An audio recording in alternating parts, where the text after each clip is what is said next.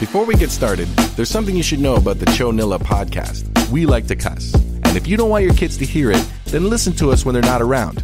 But if you don't mind your kids listening to grown folks talk, then turn this shit up and let the show begin.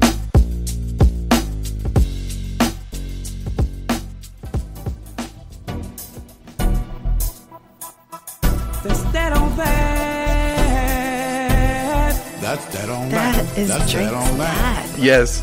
How did you know? I saw his That's that on face. that. How did you know? I recognize his time. face. I'm gone if for I, a while. If I'm I didn't look at the video, it. I'm making I wouldn't people know it's smile. him. Calling me, asking me where I'm at. I'm out here doing it. That's that on that. That's that Pissing on that. off, checking on me like GPS, trying to see where I be. Going through my phone, reading my text. Whoa, Got me thinking what, What? she gonna do next. I can't sleep at night without sleep one at eye night. open. When I'm in the other room, I Why can is hear there a tiptoeing. little They up to the door with a styrofoam cup. The detective from the cage about to lock me up. I can't go binoculars. anywhere without I her don't know. on my back. If the door's wide open, she's peeping through the crack. Calling on my phone, wanna know where I'm at. I'm where I'm at. Trying to and catch that's the that on that. Peeping through the window, calling me on the phone. Constantly leaving messages, won't leave me alone. That's that on Leave him alone. That's that on that. That's that on that, baby. That's that on that. Oh my gosh.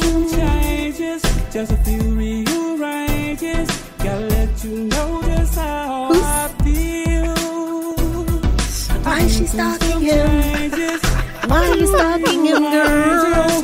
to let you know this, this is Whoa, I heard that pitch. for That was bad. real. All the time, I'm gone for a while.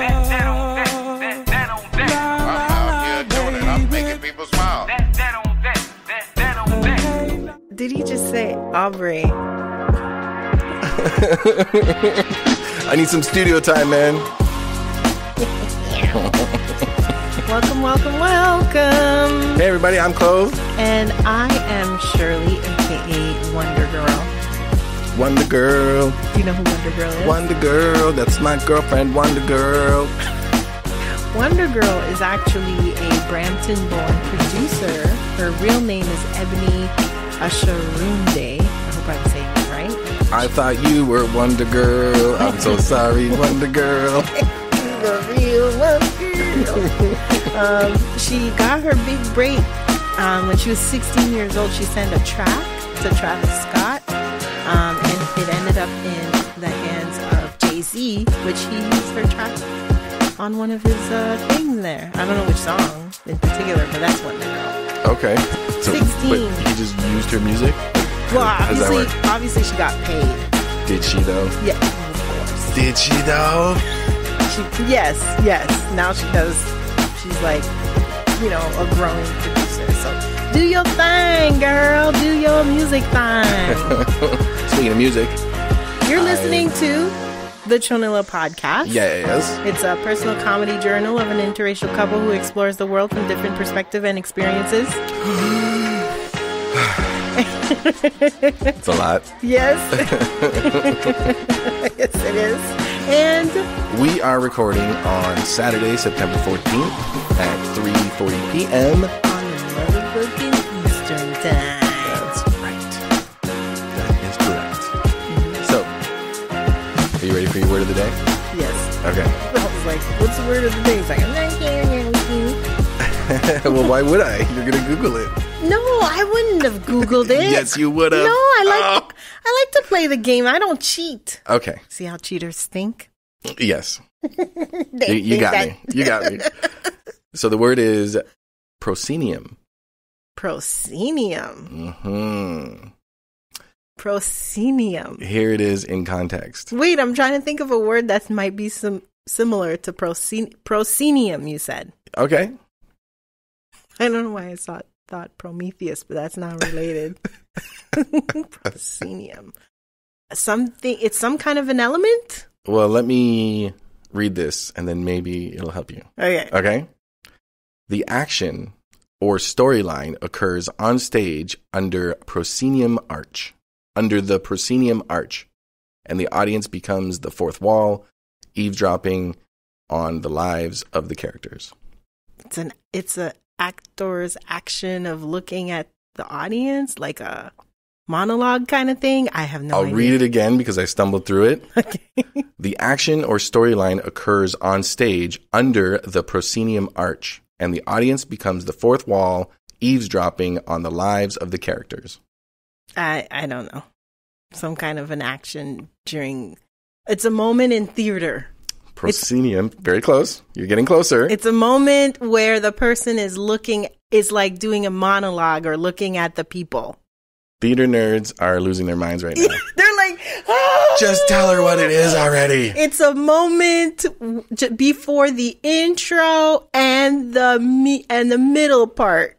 It's actually a place. Oh no, no, around the okay, it's a place. It's a place. okay. Okay, so proscenium is. Oh, I know. It's when the stage people move things. okay, go You don't. ahead. You don't want to know what it is. Yeah, I do. I just try to piss off like the theater nerds. it's the part of the theater stage in front of the curtain. It's the part of the theater stage in front of the curtain. Okay, Proscenium, the part of a theater stage in front of the curtain. in front of the curtain. Yes. Okay, Yes. So it's a place got it. right in front of the curtain. Just call it right in front of the curtain. Sounds good. so what's up? What do you Will got I going ever on? use that word? Absolutely not. no, you don't think you'll be in a stage setting? You need to be in front of the like be in the proscenium. Yes, please, please step into the proscenium. At least if somebody says that, Mm-hmm. I will imp- impress a theater nerd. Yes. They're like, "Oh, you do theater? Absolutely Damn. not." what were you saying? Sorry. I was just asking you how your week was. My week was good, actually. Um, yeah, it's been good. It's been productive. I feel like I'm making some good moves, and um, I don't know if some some of y'all know, but I'm like working part time as I'm moonlighting uh, the other time. Not kidding. What is moonlighting? That means I'm being a prostitute, right? I don't know. I don't think so. Because I'm like, what if I said that and people were like, oh my god, she's a prostitute? I think um I think it might just mean you're working at night. Night, I think so too. I don't know. I think it is like working at night. um, no, like I'm, I've been, it's been nice. Like I've, I, you know, working part part time as I'm working part time with Chonilla and some other projects, and so I feel like, oh, I'm like getting into the groove, you know. So it's been nice. I'm, you know, trying to balance because you know, just trying to balance. Yeah. Yeah, moonlighting just means having a second job. Okay, there Yep. you go. So I am. Yeah, there you go. You're in Yeah. that you're that moonlighter. Lighting. But uh, other than that, it's been good. How about you? been pretty good. Pretty good. Yeah, it's been uh, an amazing first week of work. Yes. Um now working full Is this your second time. week? Second, well, no, my first week just my first full week just ended. Oh, it's my it. second week, but I started on Friday of the previous week. Oh, So right, right, right. Okay, first full so- week, it's okay. great. It's like You right like- up my alley. It's like everything I was trained in. It's just all like coming back. It's amazing. Yeah. Yeah, yeah. So you're like back in like full animation, doing animation, making animation, creating Yes. animation, Yes, making things move. correct. And then also, you surprised me that you guys do push-ups. Yeah, every day, every day we're doing push-ups at two thirty. Uh, our lead comes around and is like, "All right, push-up time," and uh, yeah, we just do as many push-ups as we can. Is your lead like a workout workout nerd? No, no, just a kind of like a health guy, you know. Okay. Is he like in shape and stuff? Yeah, Yeah. we'll leave it at that. Okay. I uh actually yesterday was kind of uh I felt like I ran around a lot today, but yesterday, but I didn't. I winded up I was telling you Mhm. that. so here's the thing. So uh, I've been back into listening to more podcasts. Okay, Actually, I've always been listening to podcasts, but so I launched a show. I'm terrible. I never listen to podcasts. So I launched a show called that's our, you know, first kind of Chonilla Network production, part of the Chonilla Network, which is Black Canadian content creators. Yes. And it's an amazing podcast so I can show, you know, to help showcase that there are digital content creators of the mel- the melanated kind who are Mhm. making great content Awesome. online and or even offline, right? So it's all about showcasing creativity and creators. Anywho, um where was I going? Oh, so because of that, I it's like you know I'm finding myself I'm l- trying to discover fellow you know podcasters, bloggers, you know filmmakers, photographers, things like that. Mm-hmm. So I've been listening to a lot more new podcasts outside of my usual podcast routine, Yeah. and um, and so I was listening to one podcast. Uh oh. I was laugh. I was laughing not at like okay, not this okay. it was something that I the person didn't realize they d- were doing that had me a little bit cracked up. Okay. You know what I mean? Like you tell me a story. Okay, just right now. Yeah, just whatever. Okay, uh, I walked out to uh, the front of the lobby there, and I saw I saw two guys, and they were Two guys, huh? Oh,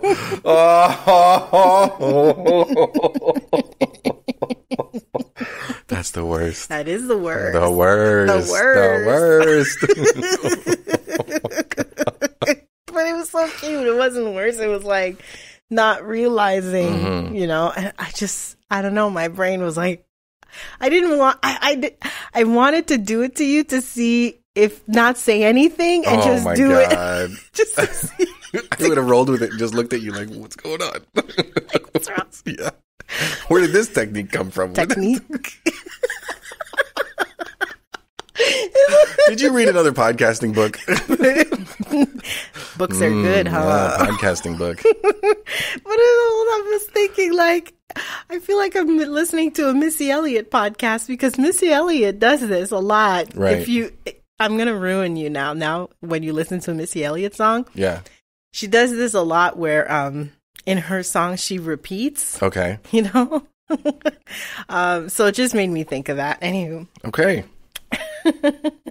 and what else? Oh, so I went to Real Fruit. Mm-hmm. and I got my so have you so basically re, real fruits like a mm, I'm trying to think of a famous place. Oh.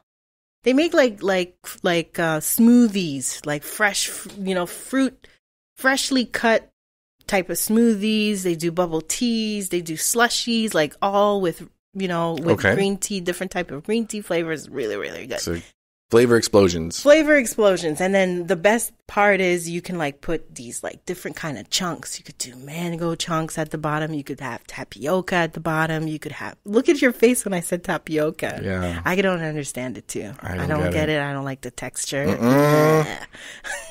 uh, and i feel like it's work What do you mean? Like, i feel like bubble tea is work like just to chew it? yeah Oh my gosh. you know so or my favorite is the lychee chunks oh Yeah. so good. I, I The thing is, the thing is with me and bubble tea. Like I, I go out with some people sometimes, and we'll go to like uh, Little Korea in Toronto, and um or Koreatown, and uh, you know, and afterwards, the group usually wants to go get some bubble tea, and I'm just like, yeah, I'm not. And the thing is with bubble tea, like when I've had it, I guess it first came out, right, and I just like the the little Those balls, little yeah, tapioca balls. Ta- tapioca balls, just like flying up through the straw. Was like, I can't do this. I can't. yeah you know what I mean. And the thing is, it ruined the taste for me. yeah So it's like now because they tell me like, oh, you can get it without those, and I'm like, yeah, I guess I could, Yeah, that's true. but no, I'm good. Thanks. yeah, yeah. yeah. That's you know what? That's a good point. It's true. It's just my brain. I know it. um. So the so as I was making an order, they the the bartender had like music playing, and it was like you know Spanish music. like, I don't know. Okay. It was good music, but it was so loud Mm-hmm. that I couldn't finish my order. Like my ear kept going to the sound and I just couldn't like it was getting on my nerves. Right, Right. right. And so I said to the girl, Is it because you were sort of feeling it and you were sort of like getting into it and you know it was fighting for your attention because it was kind of good? yeah, Okay. like my ears was like, "What was that?" And I'm like, my brain is like, "No, you need to make an order." And then my ear Focus, like, focus, "Ooh, focus." ooh." Then, but then beats though my ear. brain, it's like, girl, you need to make your order. Yeah, you haven't heard this before. Get home.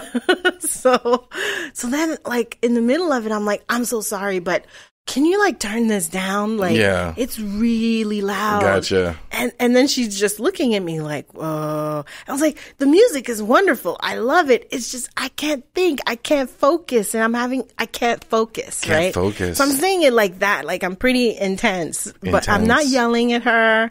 Okay, and I'm not. You know, I'm just like, please turn this off. I'm. It's kind of driving me nuts. Driving me nuts. I know. Yeah. So then I. so, okay. So What's then- wrong? You. Me.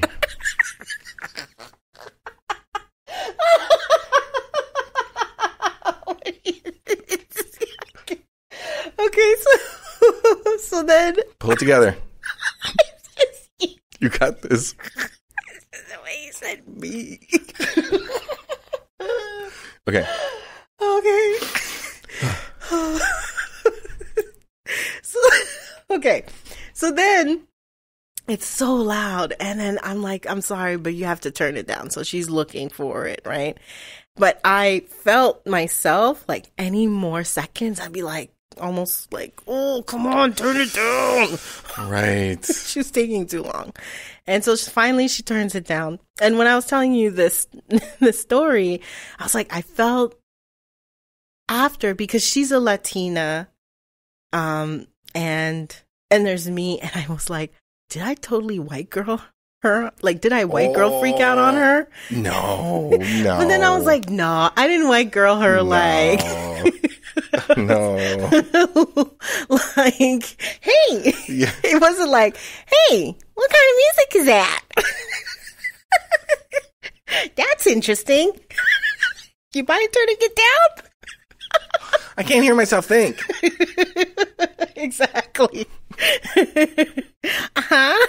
Okay, what kind of who's the artist? Ah, okay. Uh-huh. Yeah, I never heard of them before. though. Can you turn it down? I just really like you know, I'll make my order. Do you listen to this all day?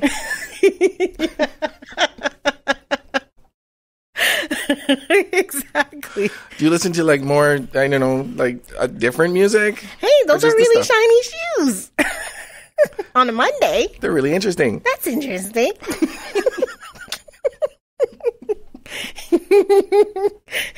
you mind wearing brown shoes with that suit? Oh. Wow, that's an interesting choice. but seriously, turn it down. exactly. But I Can you open the door? Oh yeah, you're telling me. Oh my god! Yeah, I was telling Shirley earlier that this this lady did that at uh, Cora when I went to go pick up the breakfast. She just like she just yelled at me like, "Can you open the door?" I was like, "What?" okay, I'm standing next to it, sure, but you don't gotta yell. Oh man. yeah. Anyways, you ready to take a break? Yes. That's a really cool song. Yeah, it's pretty wild, eh? Yeah. Who's the artist? Uh, it is Sampa the Great. We will have that that that playlist Mm, on Spot Spotify. I don't know why I'm like Spotlight Spotify. like I don't know why. mm, take a deep breath. I think it's because you already recorded a show. You Yeah. know what I mean? So just I'm like, uh, shake my brain, shake my brain into the Chonilla world. So, um, I saw the new Beverly Hills 90210. Okay. Um, I don't know what the hell's going on. Really? I saw, so basically, Is it as awesome though? I'm so disappointed. Really? So it's Oh, like, no. So the show is it's like it's them playing them ugh. Okay, so they play themselves. It's like a heightened version of the actors who played on the show 90210 What? and the actors who are like the the whole cast of 90210 the show is about them coming together and pitching this idea of rebooting Beverly Hills 90210 if that makes any sense yeah yeah yeah Okay. yeah Okay. So they're not playing the same characters. They're not playing themselves, themselves. but a heightened version of themselves. what is a an- heightened version? An, I guess an exaggerated version of themselves. I think so. I think that's it. It's an exaggerated version of themselves okay. who come together because they they were at a like a comic con kind of thing, right? Some kind of a con, and and wh- as they're sitting there, they're all like, um, Hey guys, why don't we reboot the show? pretty much, pretty much, and it's the the journey of getting Beverly Hills 90210 done. You know what? Now that I'm thinking about it, I think that that would work. I think it would work. It doesn't work. Oh. I mean, not like it's not like the acting was anything phenomenal in the first place. On Right. in the, you right. know, But at least it had like a, a clear direction, right? right? Okay. Yeah, but this is like first of all the amount of Vaseline look on this show. What? Yeah, Okay. yeah, yeah. I'm like, wow, the makeup, right? Like it's a lot. Um, filters, yo. but um, I might. So I might. I don't even know. I don't. Okay, I don't even remember if I finished episode one. hmm I'm gonna give it. I usually give any Wait new show three you- episodes. You can't chance. remember if you finished the first episode.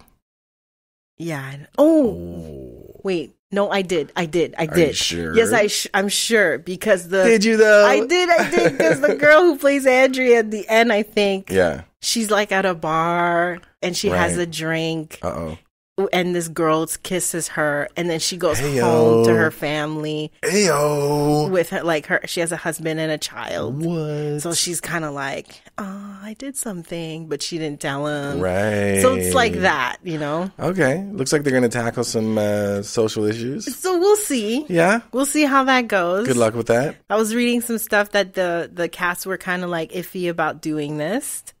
Uh, especially, I be- can't see why not. well, especially because Tori Spelling was like doing reality TV shows for a while. Okay. So they were like, oh, this idea is this is not going to come off like a reality TV show, is it? Isn't it? Isn't that? Isn't it supposed to? No, it's Okay, no, it's not. okay, so okay, okay. I will give it another two more episodes and then make a decision from there. Okay. But I was re- I was disappointed because I thought So they're playing heightened versions of the. I love that you said that.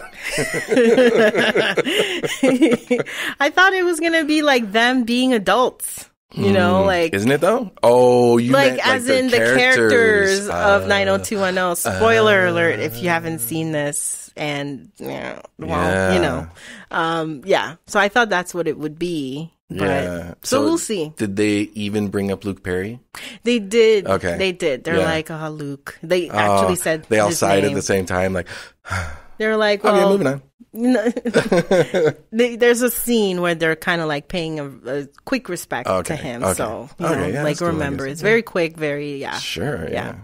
Yeah. So we'll see. Awesome. we shall see. That's awesome. Speaking of, of like television, hmm um, are you looking forward to see the show Bob and Abishola? Am I looking forward to it? Yes. Ah. I don't know if I'm looking forward to it. I'm curious. Me too. Yeah, that's about it. Yeah. I'm curious. I'm not. It could come and go, and I could not really care. But Well, I i if it's if it's coming by, like you know what I mean. Like if you hear like something's coming through your town, you're like, ah, you know, maybe I'll go check it out. right. It's kind of like that. Well, you just remind me. I want to get a ticket for something. Thank you for saying that. You're welcome. Um. Uh.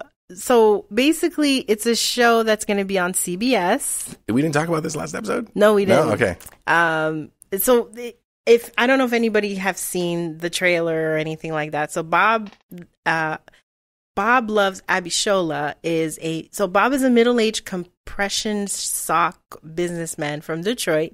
Compression socks. Yeah. Okay. Sounds like a factory thing. Yeah, Okay, gotcha. yeah, yeah, yeah.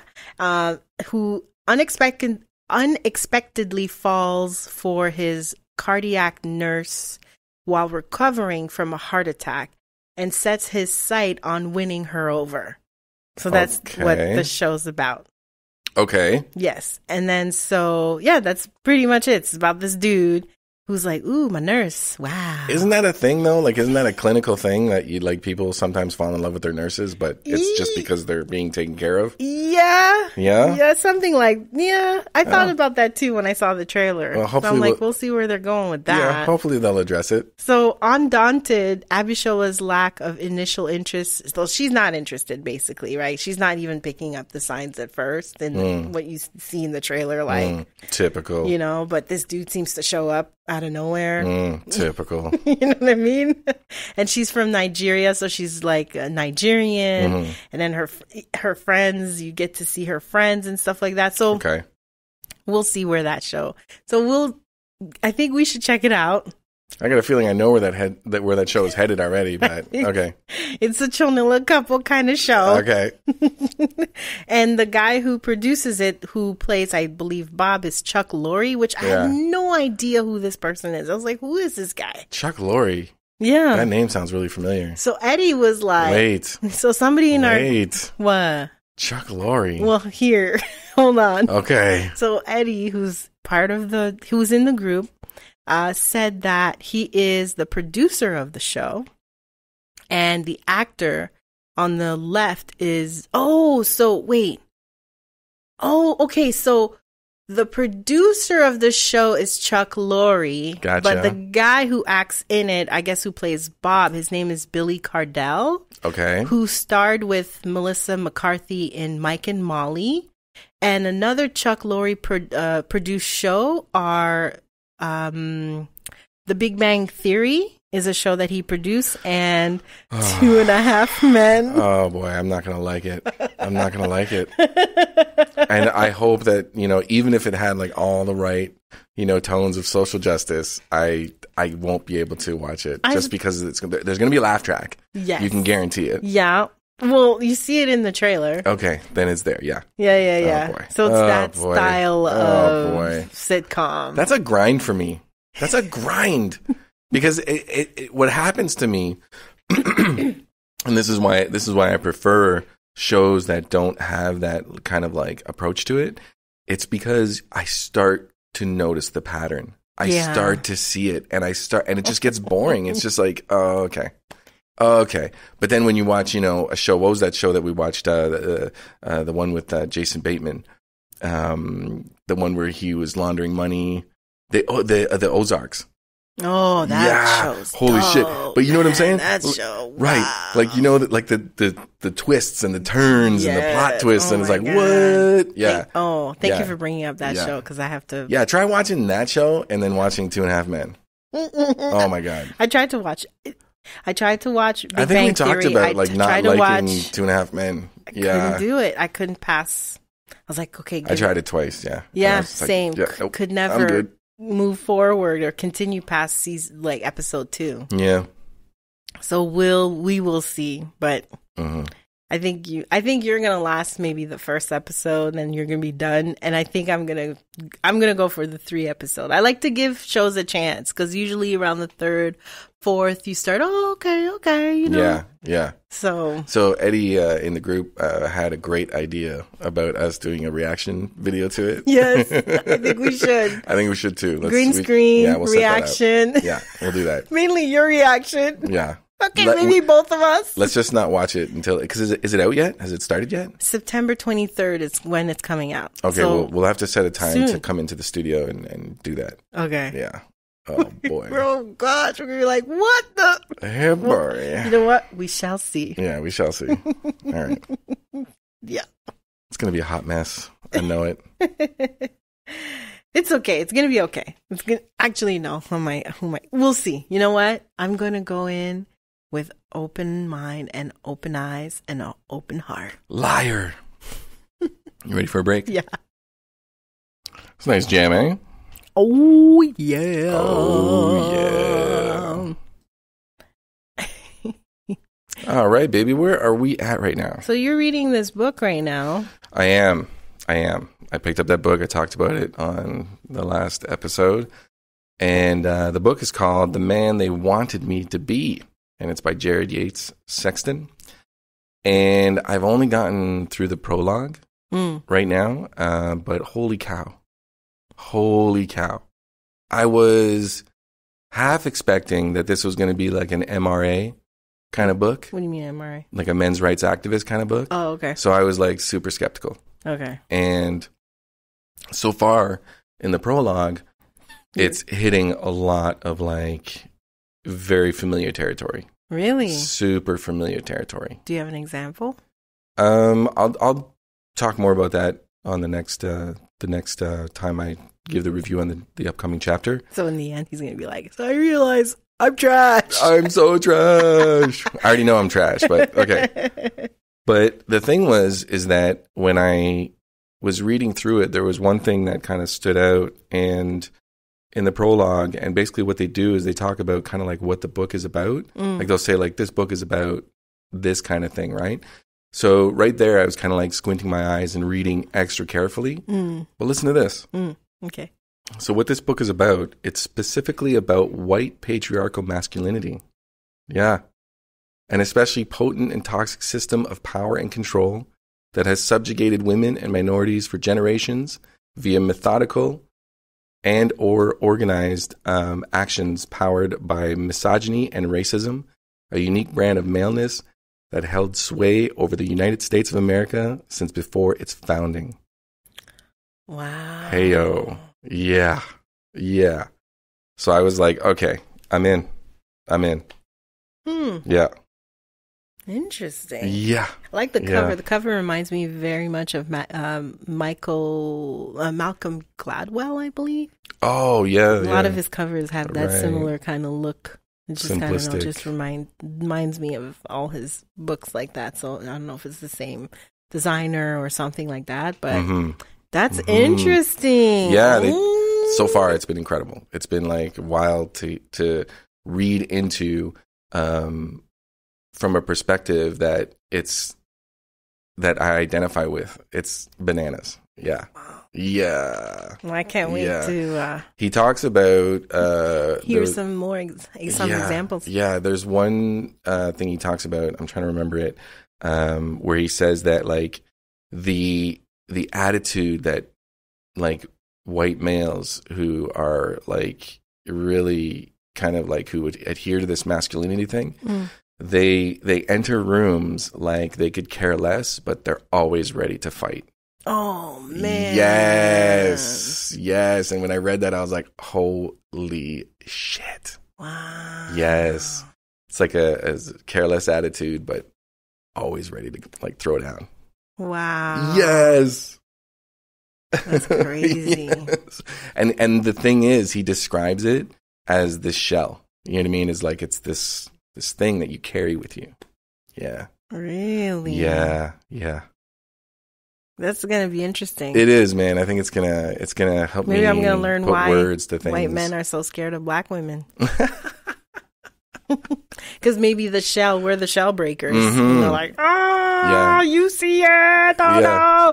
Why you so mad, though? yeah, you've got I'm that. not mad. you I got- just see you're full of shit. you got that X-ray vision that cuts through masculinity. That's what it is. That's what it is. Black women, indigenous women, we see the, like, oh, I see the shell. Yeah. hmm That's some bullshit right there. Okay. Yeah, Yeah. it's true. So I'm looking forward to finishing that for sure. Oh, Mm-hmm. that's interesting. Mm-hmm. Hmm, cool. Yeah. Very, very cool. It's time for some news, honey. All right then, let's do this. News, news, I like news, news, news, news. What is in the news? Yay, the news is not bad. Sorry, it's just, she doesn't sound like that anymore. No. Um, so IKEA apologizes after backlash over jerk chicken with rice and peas dish. What? so, uh, They they, had that in Canada too? uh, I think this is in Sweden. Uh, they had, I don't know. I don't know, but if the, it is in Canada, I'm going to check it out. Yeah, me too. Uh, they face a barrage of online backlash over um, this dish after an image of the meal went viral on social media. The chicken came with white rice and garden peas. What? rice and peas that is traditionally served with jerk chicken are generally understood to be rice cooked with kidney beans, coconut milk, spring onions, garlic, and, and thyme. Well, people on Twitter were quick to express the outrage of uh, one customer who posted the image. Um, somebody said like the chicken doesn't look bad, which it doesn't. It actually doesn't look bad, but the rice and peas is killing my soul. IKEA got the nerve to put green peas and Jamaican rice in Jamaican rice and peas. Mm. So IKEA made like this huge apology, like okay, oh, you know, kind of like we didn't know, and we're mm-hmm. gonna be learning. But we already bought 40 tons of peas. We don't know what to do with them and that's a now. whole bunch of bags of white rice. Oh my God, what are we gonna do? Yeah. So yeah, this is what happens when you don't have people of color on your team, black people or indigenous people or people of color on your team. This is Mm-hmm. exactly what happens. Everything turns into rice and peas, white rice and green peas. exactly. um, also, there is a man named um, George Cheadle. He's the black man President Donald Trump once described at a rally as my ah. Amer- African American. So he's done. He's like fed up with Trump. Okay. Oh, now he's fed up. So after two oh years of frustration with the president's rhetoric on race and the lack of diversity in the administration, Yeah. Cheadle told PBS NewsHour he had decided to leave the Republican Party and run for a seat in the U.S. House of Representatives as an independent in 2020. Okay. Uh, the 62 year old real estate broker who supported the Republican approach to the economy said he sees the party as pursuing a pro white agenda and using black people like him as political pawns. Ah. The final straw for Cheadle came when he watched many Republicans defend um, Trump's tweet telling four congressmen of color who are all American citizens to go back to their country. So that was like, no, like that was like too much for Cheadle. Okay. So Cheadle came widely known um, back in June when Trump told um, Is it congressmen, congresswomen, congress? congresswomen, sorry, Okay. con- congresswomen, congressmen I don't- I don't of know. congresswomen of color. I'll have Yeah. to look it up. Congresswomen, I mean. So, um, so Cheadle became widely known back in June 2016 when Trump, uh, was a presidential candidate then. Congressperson. He- sure. Yes, that's better. He pointed to him uh, at a rally in California and said, look at my American, African American over here. What a jerk. Look at him. Are you the greatest? Oh my god. What have you got to lose, black people? I mean, look, there's one guy right here. Oh, and he's mine. At the time, Cheadle took the president's comment as a joke and laughed along with the president and the crowd of uh, largely white supporters. Now his view at that moment has changed. I'm more critical of it today than I was back then because today I wonder to what extent he said um, that for political gain or for attention. Really?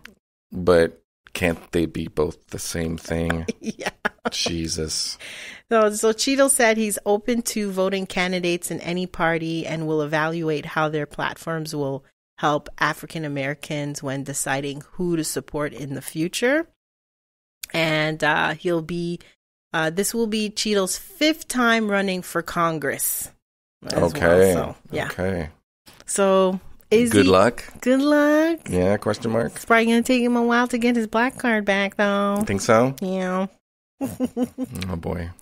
Ontario deficit sits at seven point billion dollars, which is half of what Doug Ford originally claimed. That guy. That guy. Yeah, Doug Oh Ford my is kind of like our our. He's like a guy who's trying to be like Trump He's in no, Ontario, he's, in he's- Canada. He's doing exactly what He's like he's he's got like six guys beside him who are lawyers and he's like, Can I do this? Can I do that? Because Trump do this? does it. Ugh. Yeah, Ugh. yeah. This invoking the notwithstanding bullshit is like it's so crazy. It's so crazy. What's that? It just means like from what I understand, it means that they can push law through. You know what I mean? Mhm. Without actually getting it like approved or going through the steps and stuff like that. It just pushes laws through. I'm not exactly sure, but Hmm. from what I understand, it's it's he's utilizing it in a way that's unethical. Yeah. We need someone who's like really followed. There's a guy on Twitter I think I would love to have on the show Mm-hmm. who's really like looking at the Canadian politics, particularly in Ontario and Mm-hmm. all the the Doug Ford fuckery. Yeah, I follow uh, uh, somebody on Facebook called uh, What's Going On. Okay. Yeah, And, and uh, they, they talk everything Doug Ford. okay, cool. Cool. There's another podcast too. I don't know if they're still doing it. I haven't Oh. Oh, yeah. Wag I- the Doug? Wag the Doug. yeah, Yeah, I think that's the name of the podcast. Yeah. Yeah, Wag the Dog. Um, yeah, I yeah, I'm gonna see. I don't know. I haven't listened to it. I don't know if they keep posting, but Yeah. I'm gonna check it out. Okay. Um, Ontario's budget deficit now stands at 7.4 billion, nearly half of the 15 billion Premier Doug Ford claim he inherited last year from the previous Liberal government. A figure criti- uh, critics have said was vastly inflated. Like, why is that a surprise he's lying? like, this guy's a liar Treasure- through and through. Treasury Board President Peter Bethlenfalvy, I don't know, and financial finance minister Rod Phillips gave a financial update Friday when the co- government's public ac- uh, government's public accounts saying the 2018-2019 deficit improved over the 11.7 billion projection in the spring budget due to higher tran expected uh, higher than expected tax revenues and lower spending. Wow. The premier has overstated the deficit over the last year in order to pursue an ideological agenda of government cuts. Green Party leader Mike Sh- uh, Schreiner said in a statement. Interim liberal, uh, liberal leader John Fraser accused the government of underestimating the year's revenue in previous financial updates so, so that it could now say higher than expected revenue has helped lower the deficit. Doing so could improve the deficit by up to 1.3 billion. The deficit is still projected to be 10.3 billion in 2019 to, uh, to 2020 ah, So many numbers. and the government does not expect the to balance the budget until after the next provincial election. If the new minister of finance wants to be able to say the government has to reduce the deficit next year, more work needs to be done. Hey, oh. So basically, he full of shit. he's always full of shit. I've heard him referred to as Ugg Ford. Ugh. Yeah, like, Well- ugh. Oh, Ford. Oh, really? Yeah. Yeah. And and I mean, we're not too far from an election, like for to vote. Oh, yeah? Yeah. Okay. Like I think I can't wait. I think in November. I can't wait. there was like um I can't wait. It'll be satisfying. I think there was a debate like a couple of days ago, Yeah. yesterday or the day before. I can't remember, but Oh, yeah. And, and the, yeah, I think the conservatives are all over like Trudeau not wanting to participate. And, yes, you know, it's like, that's right. it's like, yeah, but it's, it's, That's right. It was the NDP, Conservative, Yeah. and the Green Party. But I was like, "Where's the Liberal? Where's yeah. Trudeau?" Yeah, it's it's being held by a group called the Munk Debates, and they platform Steve Bannon. Oh, Yeah. Oh, Fuck them. Yeah. Oh, okay. Oh yeah. Yeah. Okay. Okay. hmm They're like centrist assholes. Yeah. yeah. Yeah. All right. Take another break. Yeah. Okay, let's, let's take a do break. that. Bible scriptures 90210. All right, baby. It's that time for Bible Scripture 90210. Woo! All right. Who are the players? The players tonight are Joshua, and uh, we talked about Joshua before. Mm-hmm. Yes, And Jo- Joshua, right hand man to Moses, right? Correct. And if you go to a website called According, so if you go to a website called GotQuestions.org, um, Joshua is best known as Moses' second in command, who takes over and leads the Israelites into the promised land after Moses' death. Ah, Joshua Right. is considered one of the Bible's greatest military leaders for leading the seven year conquest of the Promised Land and is often held up as a model for leadership and a source of practical applications on how to be an effective leader. Oh, okay. Yeah, Well, that's interesting it is. because Joshua followed, and then through learning to follow, Yeah, he became a leader. that's correct. At first, I felt for Joshua because I was like, "Damn, he's Yeah. not being treated right." Yeah.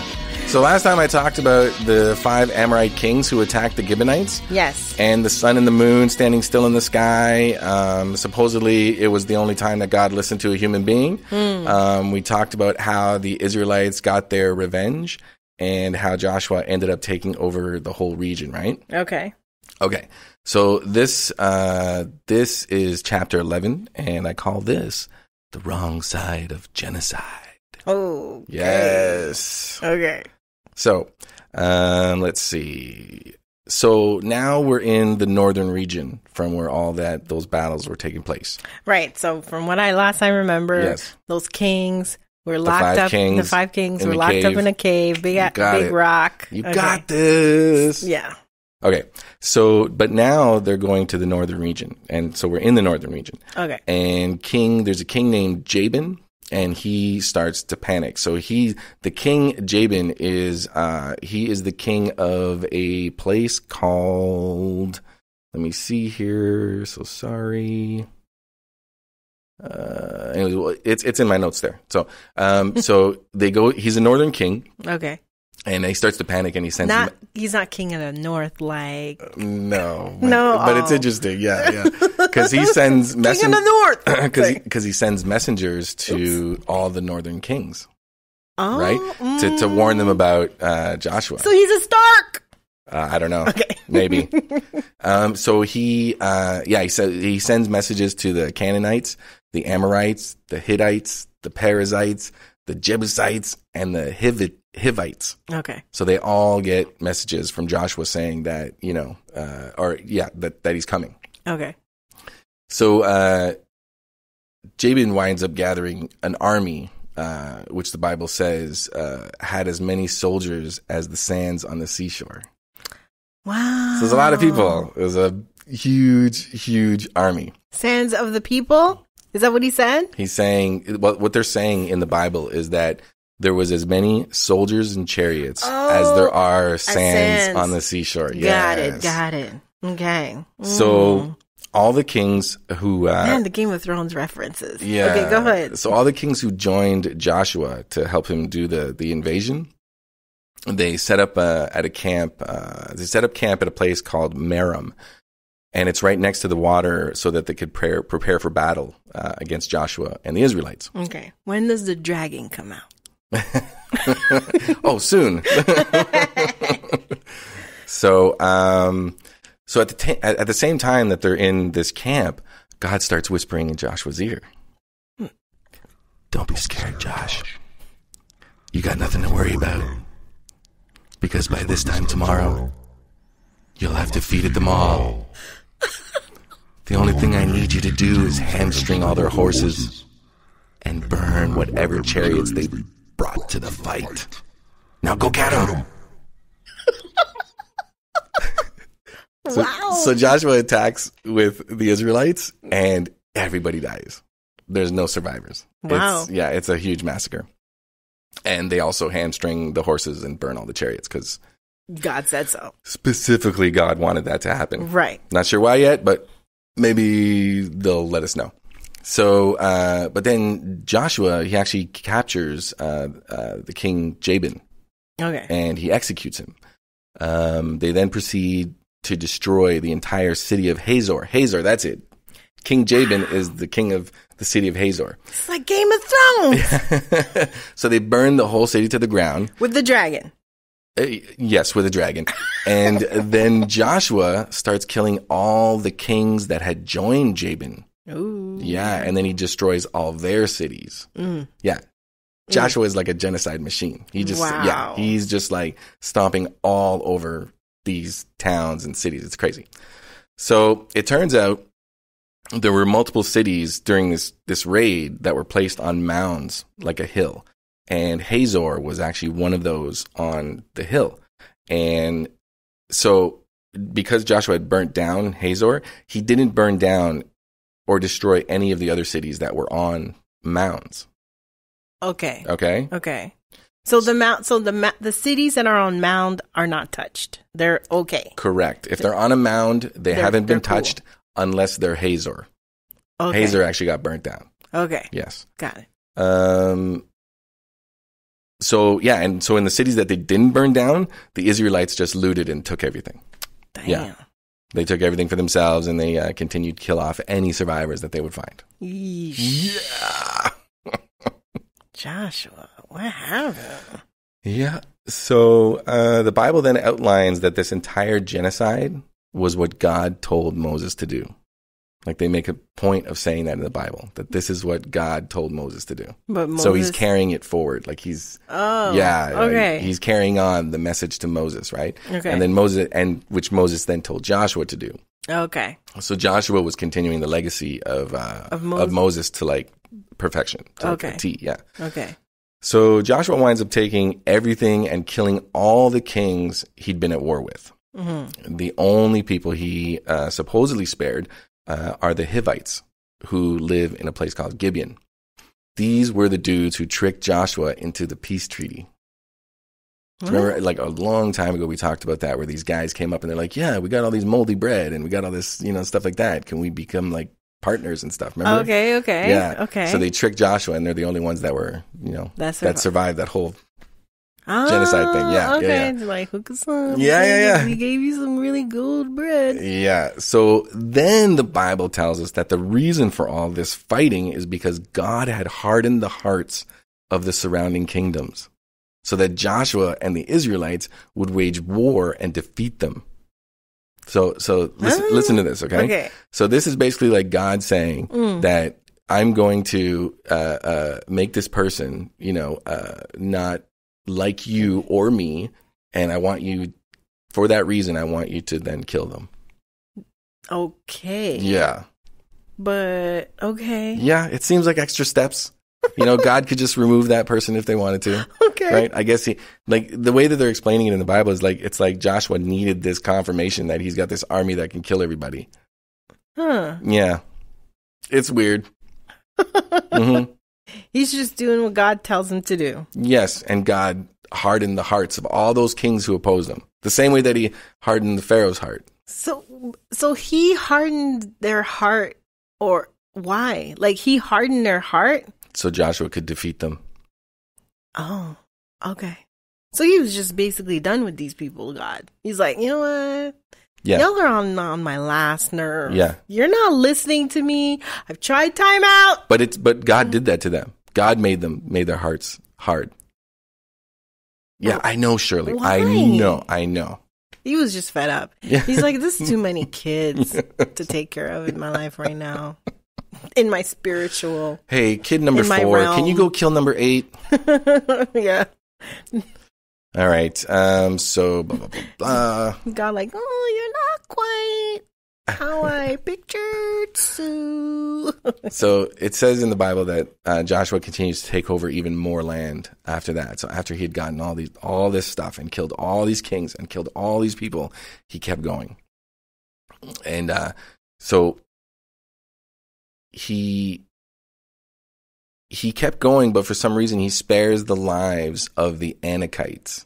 okay. Yeah, What? who I don't know yet, who were inside Israel's territory. So because they were inside Israel's territory, they were spared. Okay. Yeah. So, uh, and it's the territory they're talking about specifically around Gaza, around uh, Gath, and around Ash- Ashdod. Okay. Yeah.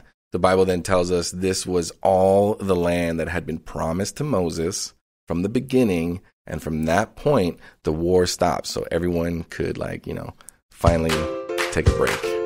Hmm. Mhm. Okay. Wow. I'm yeah. so. There was a, that that that was pretty uh, as epic as it gets when it comes to wartime. Reading it in the in the Bible, You can have a full Joshua chapter eleven. Yeah. of all this. Yep. So next time we'll go over the list of kings that were defeated by the godly hand of the Israelites. Mm-hmm. I don't remember the lyrics of the song, but I'll try. Ah, Best plate and donate. Best plate and donate. Best plate and donate. Best plate, you gotta donate.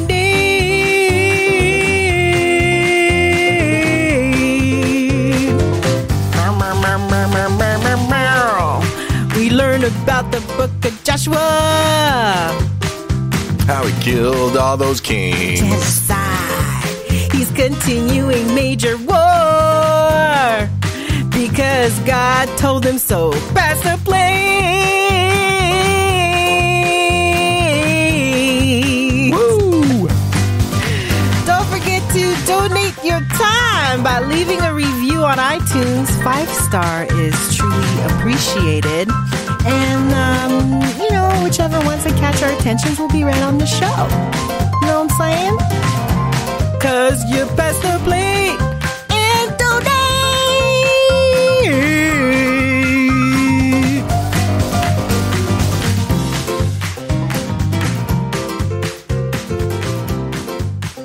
All right, so I got a relationship question that I found on uh, slate.com. Hit me. Uh, it's called I Found Gross Asian Fetish Porn on My Boyfriend's Computer. Oh, I read this. You did? Okay, so this person is Asian. I'm Yes. Asian. Let's start off with that. Mhm. I'm a straight Asian woman.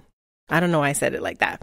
In her mid 20s, and um, who has been dating a white man in his late 20s for almost two years. Mhm. We have a very stable relationship. We have a healthy amount of sex. We like each other's friends and we never fight. We recently took the step to move in together and it has been going well. We purchase a computer together to share when we work from home. We both work in an industry that requires a specific kind of machine. Yesterday, I was on the computer and opened the web browser. It opened a private window. It hasn't, uh, he hasn't closed with many tabs of porn open, uh, many tabs of porn open. Okay. That's just sloppy surfing. I, of course, I, of course, don't care what he watches when he watches porn, but I noticed that the porn was quite brutal, involving domination. He's very sweet and vanilla in bed with me, and especially domination of Asian women by white men. Whoa. I'm I'm well aware of the kinds of fetishes men can have towards Asian women from uh-huh. college dating, uh-huh. but my boyfriend has never shown any signs of this. Should I be worried? I know porn can be fantasies, but the nature of the porn has me wondering if there are layers to my boyfriend I don't know about. Yeah, she needs to just address it. Yeah. Yeah. You need to talk about it. Yeah. Just say, hey, I found some of your porn. Yeah. Like, are you into this? Yeah. Is this something you want to, like, should Yeah. we, like, do you We need to talk- me to do this? We need to talk about this because it's a little bit of a red flag right now. Yeah, like I want to make sure this is not some kind of systemic, you know, sexual racism thing.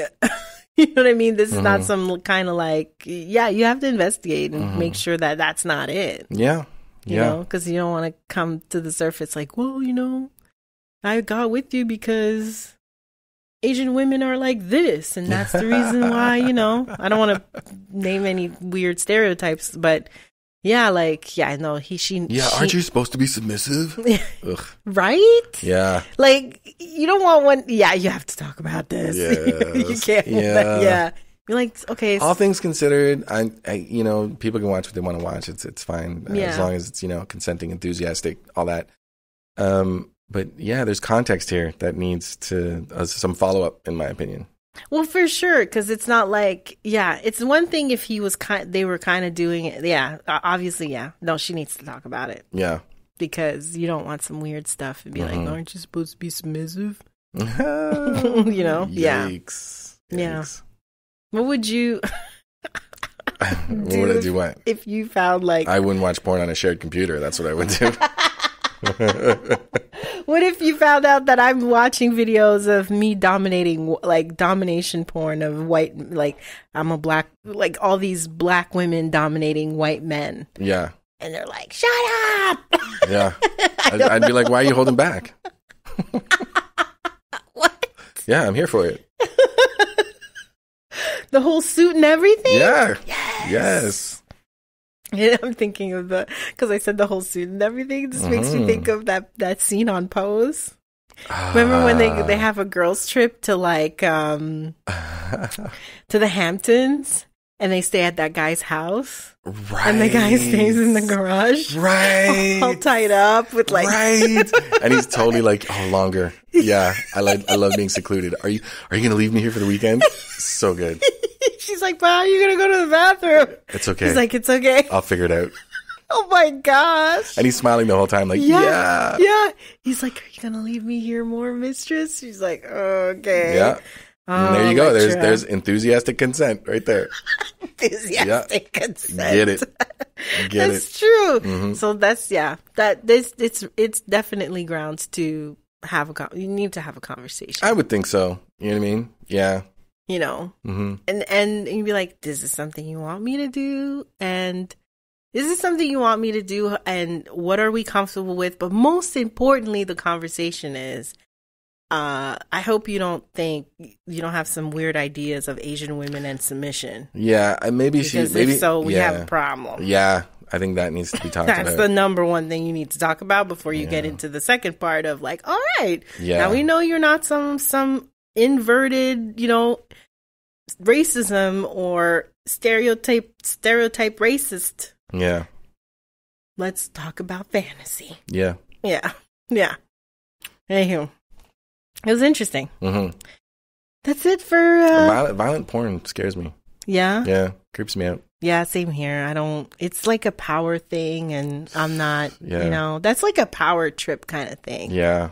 You know, it was interesting, like going back to that show, Pose, right? Pose is so good. How I was like, I was, you know, because I, think there's a scene where she asks him, like, why are you into this? You Yeah. know?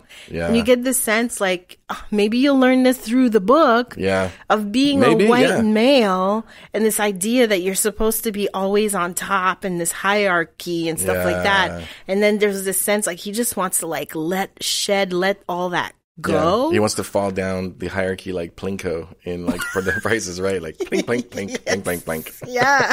And that's why he's like into the whole submission Yeah. and tied and bonded and shit. And Damn. yeah, that's yeah. So yeah. Anywho. Different strokes. For different folks. All right, well Move the world. that's it for for the show, honey. Really? Yeah. You sure? Yeah, I'm pretty We pretty don't have sure. anything left? No, not not not really. There are some great other articles that you can check out in the group if you go to uh, if you just search for the Chonilla podcast group um, on Facebook. You'll you'll find all not just the articles that we just talked about, but things like uh, Jolie King and Mark Firkin, the bloggers drone that arrested that were arrested in Iran because they flew a drone and they were in prison for about 10 weeks. Oh my god. I mean, you're in Iran. Okay. They they don't value rights as as much as Why would you fly a drone there? I mean, I'm, maybe, maybe I- it's a beautiful country. yes, yes, true. But by now, in 2019, Yeah. you should know that there are li- like each countries and places have licenses or op- or have different rules for drones. How did he get it in the country? Mm. hmm Because I've heard of people trying to bring their drones into certain countries, and they're like, "Nope." Like I've heard of people trying to bring their uh, drones into Cuba. Nope. Oh, you can't? Not in I- Cuba? I've heard of people trying to bring drones into countries, and you would think that Iran is one of those countries that are like, no. Mm, But who knows? okay. It's a white guy. White guy and What's this? Oh, it's a camera. Okay. Come on in. you, you seem harmless, like young twenty-something year old bloggers. It's fine. Starbucks is just two blocks away. Welcome to Iran. Uh, you'll also see articles like the one you shared about um, H Town dealing with racists. Oh, with Hamilton, yeah. Yeah. Yikes. Yeah. Again, go on iTunes, leave a review. Um, it's a great way for not only for us to see what you think of the show, but other people to to discover the Chonilla podcast. Uh, feel free to follow the group, the Chonilla Podcast Facebook group. Clove and I interact a whole lot there. Um, and email us chonillalove at gmail.com if you have any relationship questions. Um, and we're always open to showcase beautiful Chonilla couples of the world and read your love story of how you met and uh, what did your family think about you guys uh, being together or gals or people together. Chonilla love stories for the win. Whoop, whoop. Yes. Do you have a quote? What's the quote for tonight, baby? Okay, so the quote is We do a great disservice to boys in how we raise them. We stifle the humanity of boys. We define masculinity in a very narrow way. Masculinity is a hard, small cage, and we put boys inside this cage. Damn. hmm That was by, I'm going to mess her name up, Chimamanda Ngozi Adichie. Yes. Yes. She's the author of We Should All Be Feminists. Yes, Mm. yes. She's in um, that clip in uh, Feminist, in that Beyonce song. Ooh, You know, uh, Flawless? Okay. She's That's her. That's her Ah, voice. Yeah, okay, that's her. cool. Very yeah, cool. So yeah, thanks a lot, everybody. Tune in next time for me to explore more of my trashy, toxic masculinity. Oh, and yeah. don't, don't forget to tell your friends about the show. We appreciate that. Peace. Wait, you're still listening to podcasts? Well, if you love this episode of the Chonilla podcast so much, just head over to iTunes or Spotify to subscribe and leave a review. I guess.